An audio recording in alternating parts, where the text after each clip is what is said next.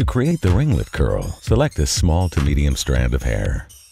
Place the iron close to the root of the hair, point the tip down, and keep your hand firm and steady. Pinch the hair close to the root. Wrap the hair side by side, never overlapping, from root to tip.